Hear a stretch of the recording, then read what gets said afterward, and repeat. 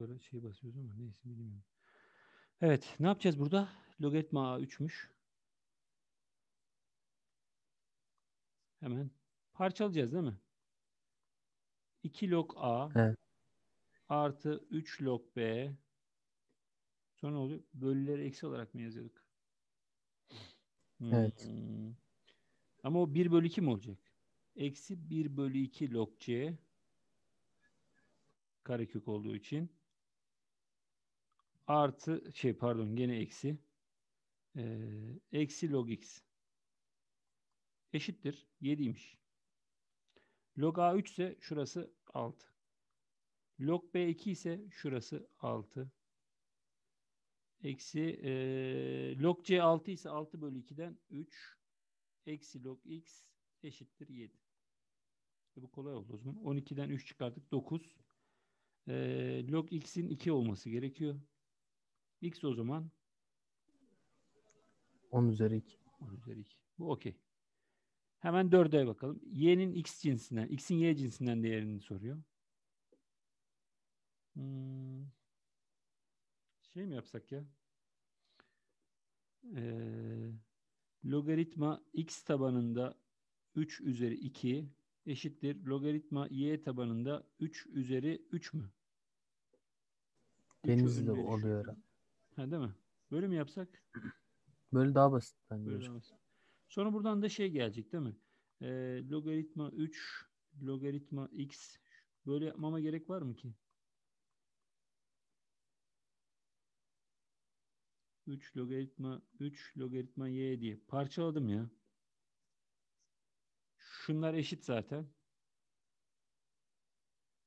Ee, buradan logaritma x bölü logaritma y eşittir 2 bölü 3 geldi. Uzattık mı diye bakıyorum da. Ha, uzattık mı acaba? Yani bu noktadan Olabilir. sonra da e, çıkıyor da logaritma y tabanında x eşittir 2 bölü 3 ise y üzeri 2 bölü 3 mü oluyor x?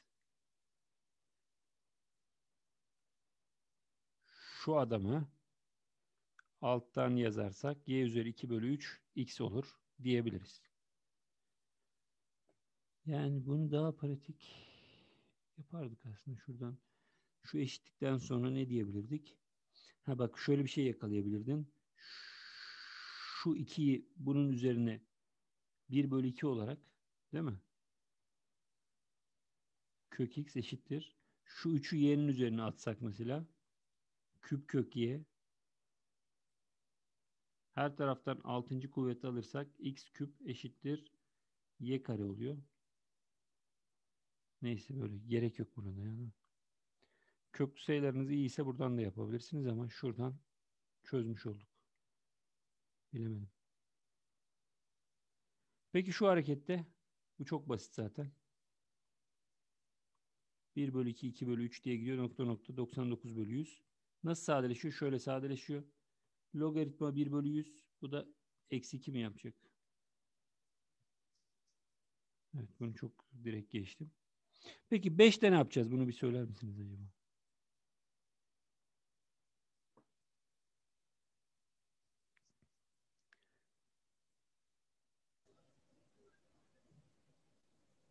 Logaritma 2'nin 3. kuvveti böyle onun karesi. Onu da eksi olarak açıp. Hı hı.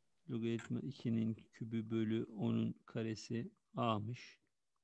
Yani şöyle mi yapalım diyorsun? Logaritma 2'nin kübü eksi 2 mi? Evet. Onun karesi e, taban aynı olduğu için 2 olacak. Diğerini ya da buradan sonra ne yapacağız? 5'in küpü sağ taraf. Şurası mı? 5'in küpü bölü 1000 mi? Onun kübü evet. O da eee, ne oluyor? 5 bölü 2 5 bölü 10'un kübü diyebilir miyiz?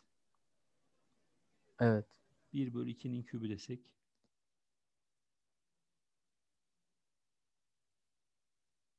Yani şey mi? 2 üzeri eksi 3 filan desek. Yani eksi 3 logaritma 2'yi soruyor bizden.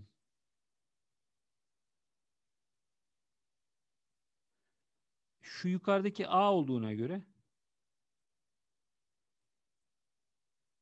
değil mi? Şöyle yapalım. Eksi 2'yi karşıya atsak logaritma 2 3 logaritma 2 a artı 2 yapıyor. Eksi 3 logaritma 2 ne yapar?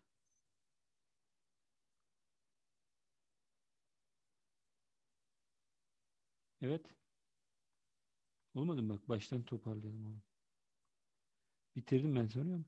Şuradan dedik ki e, logaritma 2'nin kübü bölü 10'un karesi.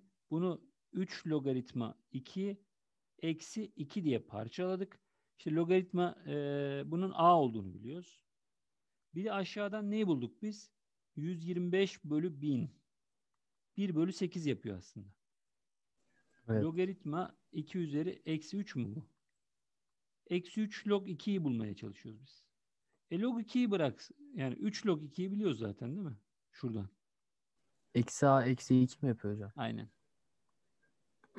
3 log 2 bu. Bunu eksilisi o zaman eksi a eksi 2 yapar. Belki ilk başta bu, bu hızla yapamıyorduk ama sonra gittikçe değil mi? Hızlanıyoruz. Peki. 6'yı ne yapacağız?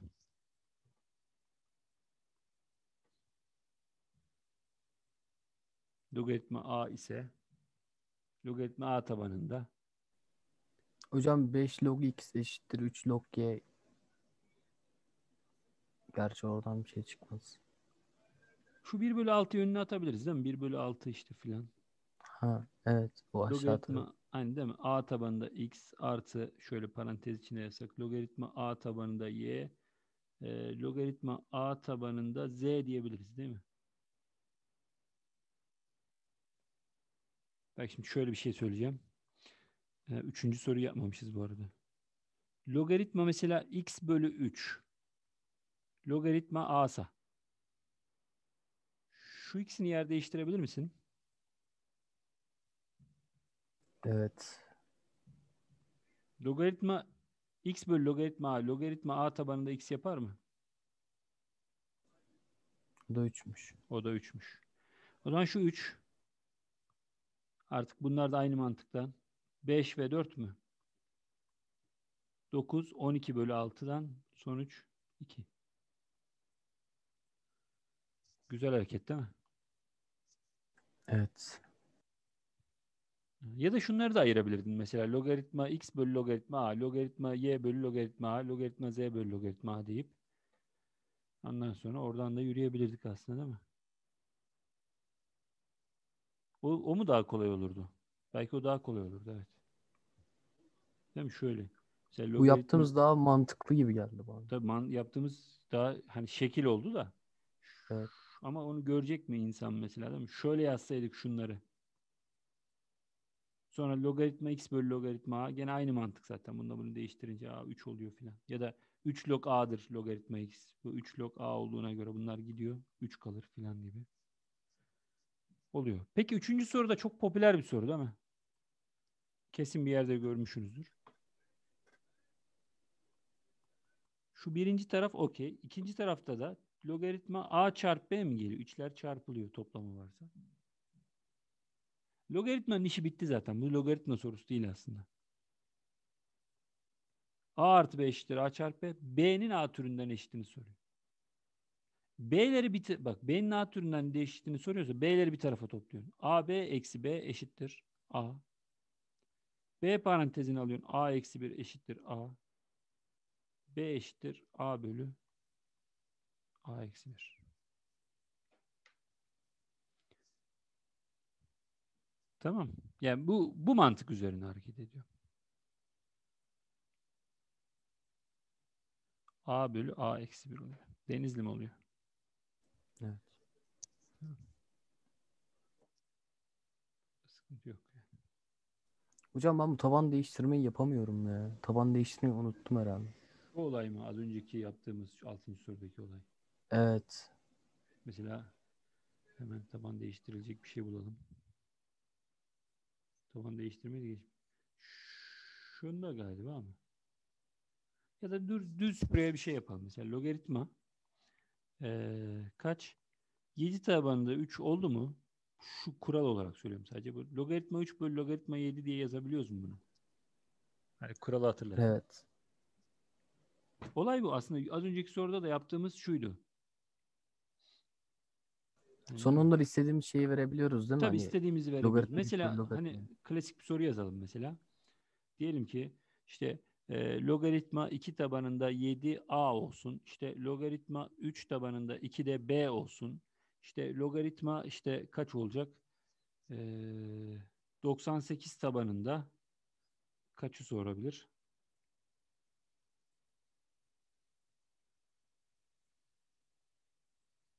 ...21 nedir filan gibi sorsun mesela. Bunu nasıl yapıyorduk değil mi? Nasıl parçalayacağız? direkt logaritma 7 bölü logaritma 2 olarak aşağı tarafı aynı şekilde. Logaritma 98 değil mi? Şöyle parçalıyoruz. Ortak tabanı kaç verelim? 98. Yani, e, 21 falan mı? Hayır. Gerçi 1'e bölürsek Bak. 98 verebiliriz. İkisinde de ortak kim var? Ha 2'yi vereceğiz. Evet. 2'yi vereceğiz ki ikisinin de ortak dilinde konuşsun. O zaman logaritma 2 tabanında 7 artı logaritma 2 tabanında 3 mü olacak burası? 7 kere 3 21. Değil mi? Burası da logaritma 2 tabanında 98 kaç yapıyor? 49 çarpı 2 mi yapıyor? 2 artı logaritma 2 tabanında 7'nin karesi yapıyor. E o zaman logaritma 2 tabanında 7 dediğim şeye a yazacağım. Logaritma 2 tabanında 3 deyince ona da ne yazacağım? 1 bölü b. 1 bölü 1 mükemmel. İşte bu. Şurası 1. Burası da 2a mı? 2. Ondan sonra payda eşitle. Ee, AB artı 1 bölü değil mi? AB artı 1 bölü B artı 2AB olarak direkt buradan yazabiliriz. Anladım. Teşekkür ederim. Evet, bu, olay bu yani işte değil mi? Çok aşırı zorlamamış değil mi kaynak? Tekrar kaynağı gibi sanki biraz. Yedinci soruyu ne yapıyoruz? Logaritma 8'in karesi, logaritma 1 bölü 16'nın karesi. Evet. Hmm, 2'nin 6. kuvveti artı e, 2'nin 8. kuvveti eksi 8. kuvveti. Belki oradan başa atarak Burada şey var değil mi? Logaritma 2 diye, logaritma 2'nin neyi yazalım dedin? Kübü mü? aynı yukarıyla çarpım halinde oluyor. 6 Ama oluyor. şöyle. Bu kare burada. Ha? Ama bakalım hayırlısı bir şey gelecektir değil mi? Bu da logaritma 2'nin kaçıncı kuvveti bu? Eksi dördüncü kuvveti. Yani sanki üstün üstü çarpılacakmış gibi duruyor ama bu logaritmanın içinde yani kare logaritmanın karesi. Yani, anladım. yani şöyle 9 logaritma işte 2'nin k- e, log 2'nin karesi 2 mesela şöyle diyeyim değil mi? Log kare 2 artı buradan 4 log 2 var. Karesini alırsak 16 logaritmanın karesi 2 geliyor. Eksi ama artı geliyor. Tamam yani şöyle. Logaritma 2 üzeri eksi 4 var. Bunu önüne düşürdük. Eksi 4 logaritma 2 yaptık. Bunun karesini alırsan Evet 16. 16 log, log kare 2. Hani bu Tamam. değişik bir şey oldu. 16 o zaman 25 log kare 2 oldu. 25 dışarıya 5 olarak çıkar. Evet. Log kare 2. Log 2 pozitif mi oluyor? Log 1 sıfır olduğuna göre sıfırdan büyük evet değil mi? Bu da log 2 olarak çıkıyor değil mi? 5 log 2. Yani bu kare ayrımını da yapmak gerekiyor yani. Bu da önemli bir hareket. Tanımlı olduğu aralıktaki sayıların toplamı. Tanım aralığında ne yapıyoruz? Şuna. Şunun kökleri 0 ve 6 mı? Paydanın kökü de 5. Evet işaretleyelim. 0, 5, 6. Şimdi burada iki tane denklem var. Bir 6x eksi x kare. 2 5 eksi x. 5 eksi x'i düşünmek kolay aslında. Sadece yukarıdakini yapıp aşağıdakini de bir sınırlayıcı olarak kullanabiliriz. Ama ikisini birlikte yapmak istersek şu adamın 6x eksi x karenin çarpanlarına ayrılmış halinde köklerinin 0 ve 6 olduğunu söyledik. Sağdan eksiyle başlayacağız. Eksi artı artı eksi. Alttaki adamın da eksiyle başlıyor. Sadece 5'te kökü var. Eksi eksi artı artı. İkisinin de artı olduğu aralık hangisi? 0 ile 5 aralık.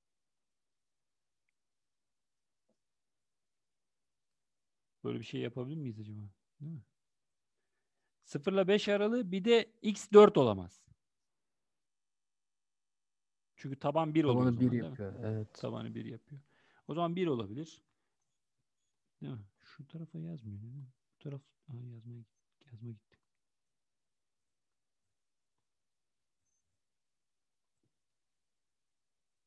Ne oldu?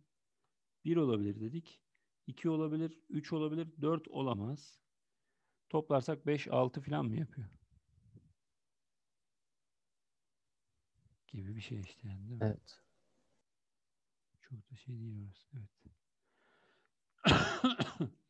Şu denklem çözüme çıkmış soru var böyle. Şu ters fonksiyona bakalım önce. F'in tersi 2, 3 olduğuna göre diyor. Hocam direkt sağ tarafı 2'ye eşitlesek. Yani şöyle mi yapalım? F3 eşittir 2. Yani o olabilir evet. Ha sen şey diyorsun. Yer değiştirip burayı 2 eşitleyip sonucunu 3 3 olacak ya. Hani Ee, logaritma değil mi? F'in tersi 2, 3 yapıyorsa şu sol e, tersini mi alalım diyorsun? Aynen öyle olabilir mi diye Tabii düşündüm. tabii öyle olabilir. Şu F3 2 bu var zaten elimizde. Ee, buradan bir yapalım bir de diğer türlü yapalım. F3 x'e 3 yazdığımda burası 6 9. Logaritma a tabanında 9 artı 1'in kaç olması gerekiyor? 2 olması gerekiyor. O zaman logaritma a tabanında 9'un 1 mi olması gerekir? Evet. Zaman a9. Değer varsa şöyle yapmak her zaman daha kısa veriyor bize. Ama fonksiyonun tersini almak için şöyle diyorduk. y eşittir. Onu da a tabanında 2x artı 3 artı 1. Bir de burada a belirsiz falan ya tersini alırken hep zorluk çıkıyor. y eksi 1 eşittir logaritma a tabanında 2x artı 3. a'yı atarsak buraya a üzeri y eksi 1 eşittir 2x artı 3. Artı 3 eksi 3 olarak atarsan a üzeri y eksi 1 eksi 3 bölü 2 eşittir x'i bulduktan sonra diyoruz ki bu ters fonksiyonmuş. O zaman 2 yazdığımda a üzeri 1 eksi 3 bölü 2 değil mi? bana ne verecek sonuç olarak? 3 verecek 6 9. Buradan da aynı şekilde geldi yani. Ben bunu da söyleyebiliriz. Şurada denklem çözme falan mı var? Ne var orada? Hmm. Şu 12'yi yapalım mı? Nasıl olacak?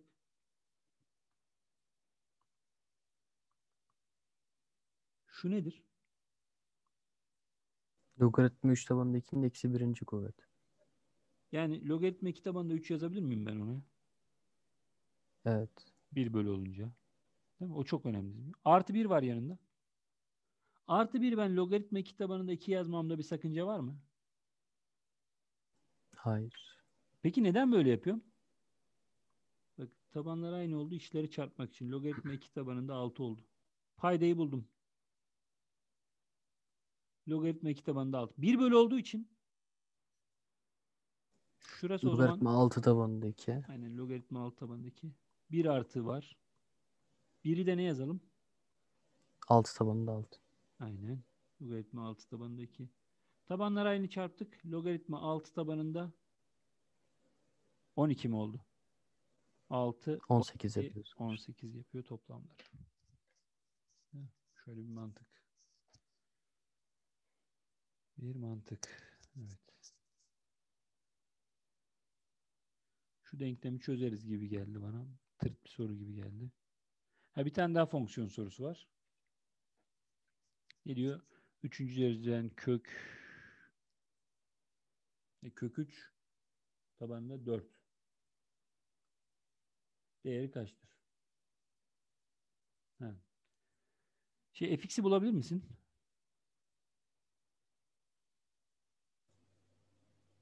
Yok. Bulamadım. Bulursun ya bak şu. Bunu ilk başta aslında yaparken çok bizi uğraştırdı ama ters fonksiyonu görünce daha kolay oluyor ya. Bunu ben hep ters fonksiyondan sonra anlatırım normalde. X artı 1'in tersi nedir? X eksi 1. Ha, onu anladım da ben direkt şu aşağıdakini x'e Yok. eşitleyeceğim zannettim. Ben Ha, yok hiç kök direkt bak. f x ne oldu o zaman? 3 üzeri x eksi 1 yazarsan x eksi 1 artı 2'den x artı 1. O zaman bizim aradığımız f logaritma 3. dereceden kök tabanında 4 eşittir. 3 üzeri logaritma 3. dereceden kök 4 mu oldu? Ne yapacağız? Tanıdık geldi mi bir yerden?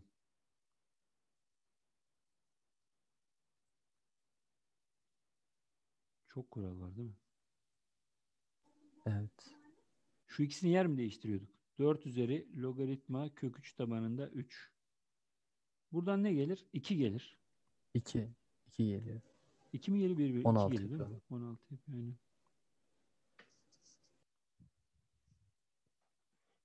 Unutmuşum hocam logaritmayı çalışmaya çalışmaya. Aynen.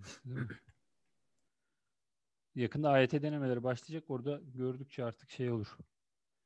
Biraz daha insan aşina oluyor. Şu 13. soruda ne var ya? Değişik. Çok basit gibi de duruyor ama sanki böyle Ha, küp zaten önüne atarız. 3 logaritma tamam. Ee, 3, 4, 5, 0 Ee, nedir? Bunu soruyor. İşte şimdi buradan ne var? Ee, biz bunu 3 logaritma 34 buçuk çarpı 10 ile çarpacağız. 345 100 mü? Şöyle yazabiliriz değil mi? Yani e, Evet. 34 buçuğu 100 ile çarparsak bir sıfırdan virgülden kurtulacak ve 34 5 sıfır gelecek yanına. E şu 2 zaten. Şu da A. 3 ile 3 artı çarparsak 6. 3 artı 6. Evet bunlara filan aşinayız. Hani zorlaşınca tabii zorlaşıyor da olay. Burada bir sıkıntı yok gibi galiba değil mi? Oo, daha zorları arkadaymış ya. Şu grafiğe bakalım bence hemen. Tamam bu daha başıymış. Ben bu kitabı atayım size. PDF arşiv. Evet şu nasıl olacak? Dokuzuncu soru. Ha bu gerçi düzü.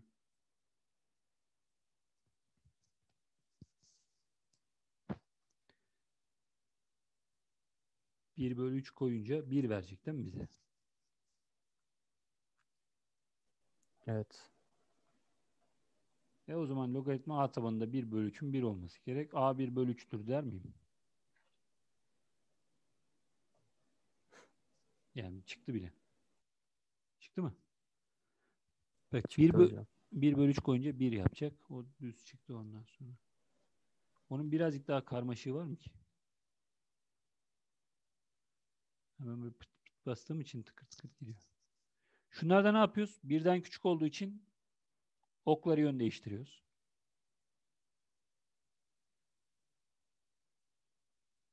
Şu gene standart bir hareket.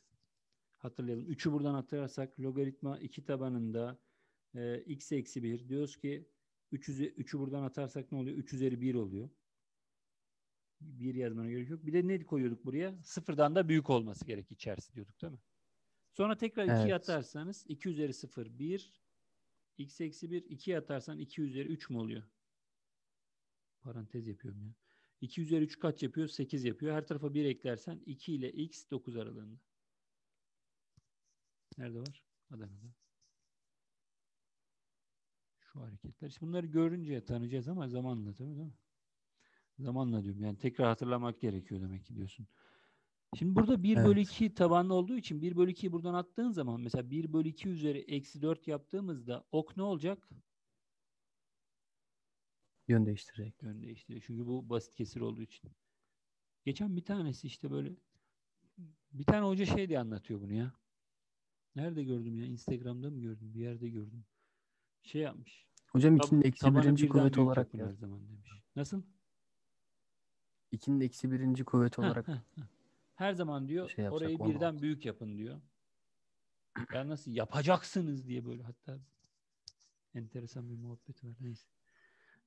E, şurası ne yaptı? 2'nin eksi 1 bölü 2'nin eksi 4. kuvveti 2'nin 4. kuvveti 16 mı yaptı?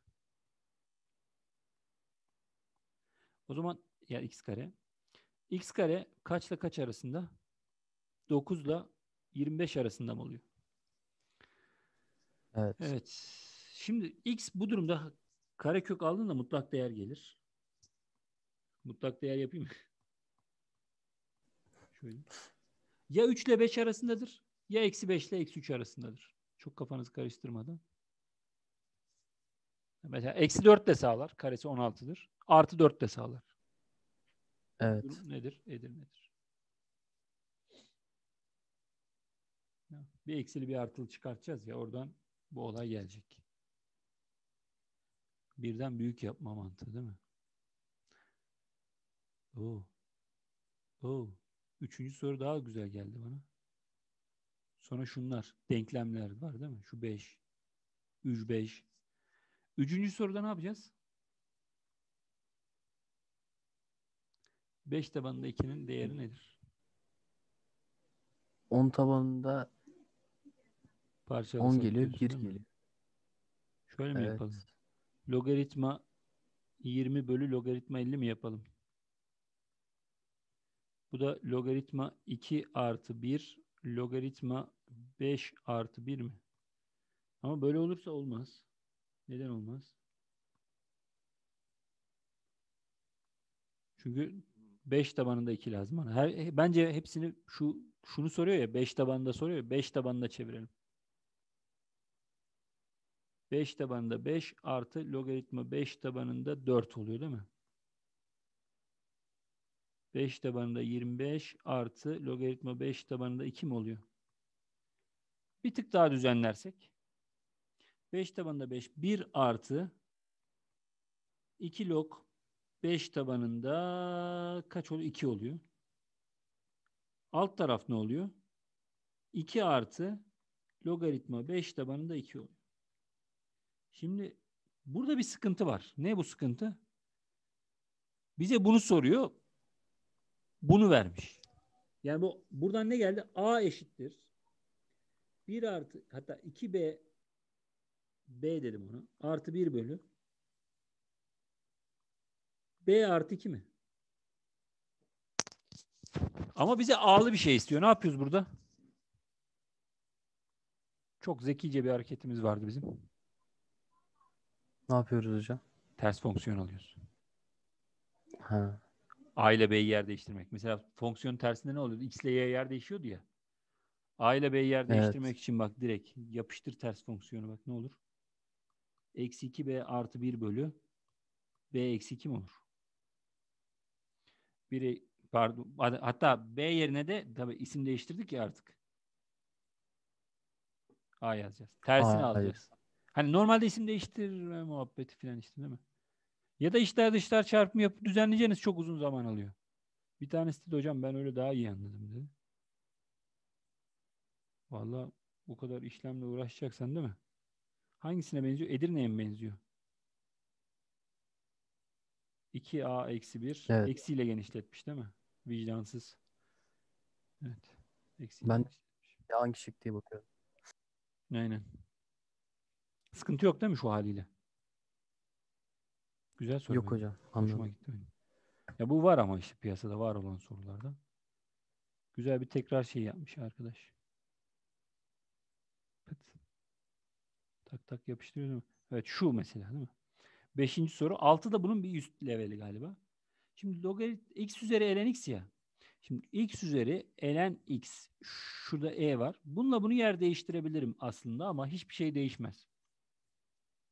Evet. İkisi Böyle karşıya falan mı hocam? Şöyle diyorum. ln x'e mesela Ahmet desek. Bunlarda mutlaka değişken değiştirmeniz gerekiyor bir yerde.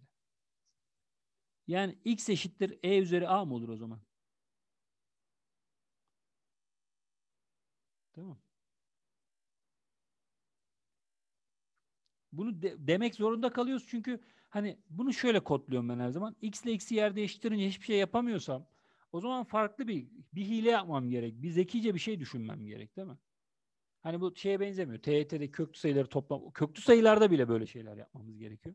Matematiğin olayı bu. Farklılık bir şey kendinden bir şey katınca güzel oluyor. O zaman x gördüğüm yere e üzeri a yazdım. ln x gördüğüm yere de a yazdım. Mantıklı mı? Evet. Bak ne oldu? e üzeri a kare eşittir e üzeri 9. a kare eşittir 9. a'ya 3, a'ya da eksi 3. Çat diye geldi bak. O zaman x neydi? e üzeri a'ydı. e üzeri 3, e üzeri eksi 3. Çarpımları 1 ediyor gerçi de. Üstler toplanınca 0 geliyor değil mi? Evet. Bak ne güzel. Çiçek gibi çıkıyor böyle. Tıkır tıkır çıkıyor. Bunu da böyle kodladım ben. Ne bileyim x üzeri ln x olduğunda. Bu ikisini yer değiştirdiğinde hiçbir şey değişmediğinde böyle yapabilirsin diye. Genelde halkta şunu görüyorum ama hocalarda filan genelde her taraftan elen alalım filan diyorlar. Nasıl eline alıyorlar? Bak şöyle bak. Her taraftan elen alma da şu. Her tarafın mesela kare kökünü karesini nasıl alıyorsak her taraftan elen alıyor. Şöyle diyor. Elen x üzeri ln x eşittir ln e üzeri 9.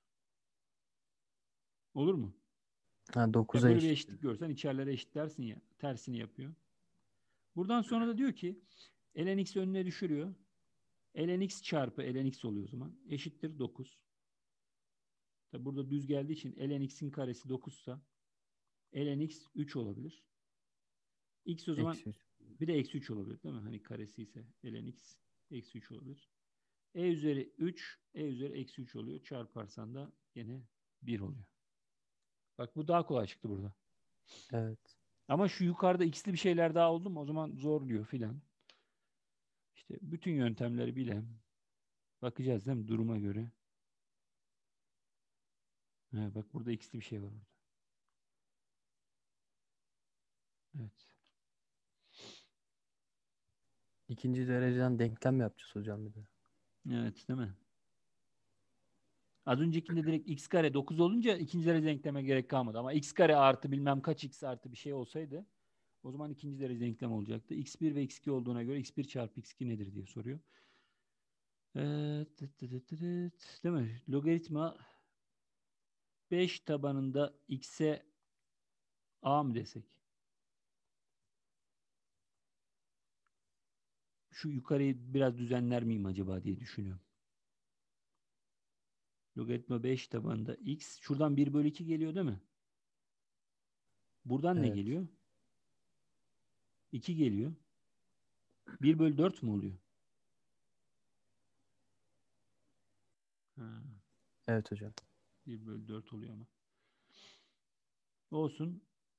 x üzeri logaritma 5 tabanında x üzeri bir de 1 bölü 4 var değil mi? Aslında çarpı 1 bölü 4 diyorsun ama e, üstün üstü çarpılır muhabbetinden bu 1 bölü 4'ü buradan silip şuraya yazabilir miyiz? x üzeri 1 bölü 2 Direkt falan. a bölü 4 olarak yazsak. a bölü 4 mü diyelim? A Ha, doğru o da olur. a bölü 4 x üzeri hatta x yerine de ne yazacağız? 5 üzeri a üzeri dediğin gibi değil mi? Karıştırmayalım diyorsun. A bölü 4 eşittir. E, x yerine ne yazdık? 5 üzeri a bölü 2 yazdık değil mi? O zaman dediğin gibi a kare bölü 4 eşittir a bölü 2 oluyor.